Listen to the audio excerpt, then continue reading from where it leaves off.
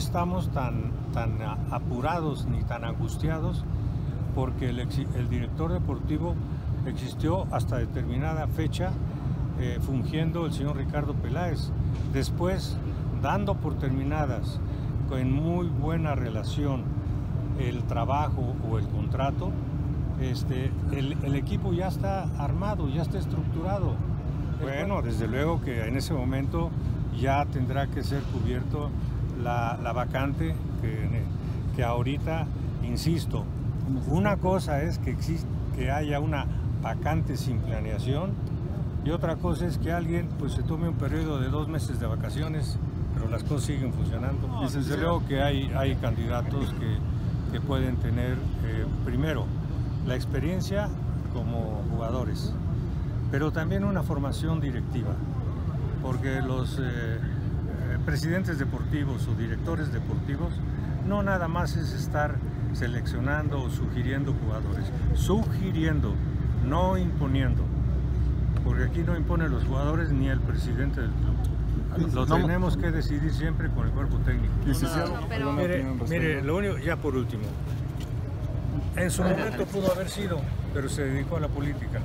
Bueno, hay un presidente y desde luego en lo que es el Club Deportivo Social y Cultural hay vicepresidencias. Lo que ha sucedido con el licenciado Víctor Garcés es que en este momento judicialmente no se le reconoció su calidad de vicepresidente por no tener la calidad de socio de la cooperativa. Hasta ahí. Y todo lo demás, que haya dudas o efervescencia, tenemos que tratarlo internamente.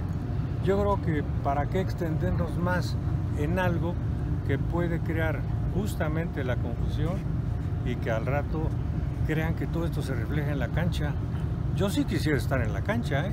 por lo menos en la banca. Bueno, lo que pasa es que en su momento tuvo una, una participación, pero repito, ya desde un principio es muy distinto tener cambios de, impresiones y otra cosa es que, eh, pues si esto se hace mediático, acaba siendo indudablemente el que le gane a alguna persona, puede ser que sea muy humano, este, el querer hablar y yo ya lo que menos quiero es estar hablando, mejor que hablemos con los jugadores y respondan en el terreno de juego. Dije que la última palabra la tiene el presidente del club. Eh, Eso fue todo lo que dije, no al revés. Bueno, yo creo que no tiene nada que ver un presupuesto con otro, porque además es prioritario lo industrial y como la pregunta del estadio nos la hacen recurrentemente, yo tampoco quiero cansarlos con la misma respuesta, ¿eh? porque yo como les digo, ves que va a ser entalado.